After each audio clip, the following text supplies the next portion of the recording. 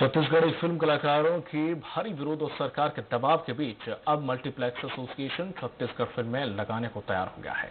कांग्रेस संस्कृति प्रकोष्ठ के अध्यक्ष दिलीप सोडंगी ने कहा है कि राज्य सरकार के प्रयास से सफलता मिली है। मल्टीप्लेक्स एसोसिएशन को मेल किया गया था कि अगर लगातार प्रदर्शन किया जाता रहा, जिसका नतीजा है कि उन्हें मेल का जवाब देना पड़ा और मल्टीप्लेक्सों में छत्तीसगढ़ी फ़िल्में दिखाने पर सहमति बन गई है।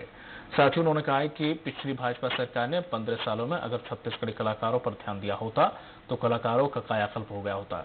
लेकिन भाजपा सरकार ने पिछले पंद्रह सालों में सलमान खान, करिश्मा कपूर, सोनू निगम आदि बड़े कलाकारों को उनकी खातिरदारी में लगे रहे और मल्टीप्लेक्स एसोसिएशन के तैयार होने के बावजूद छत्तीसगढ़ी फ़िल्म कलाकार बड़ा प्रदर्शन कर रहे हैं अब। उनका कहना है कि मल्टीप्लेक्स ने अभी भी हमारे नियम और शर्त को नहीं माना है।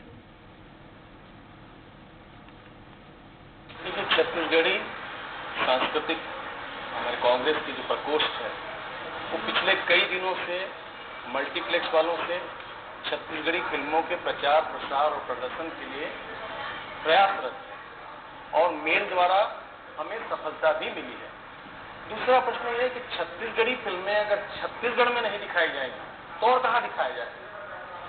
लेकिन इसके साथ ये प्रश्न उठता है कि पिछले पंद्रह सालों में भाजपा की सरकार ने अगर कलाकारों पर ध्यान दिया होता तो शायद आज छत्तीसगढ़ी कलाकारों का कायाकल्प हो गया होता। बैतूल के कलेक्टर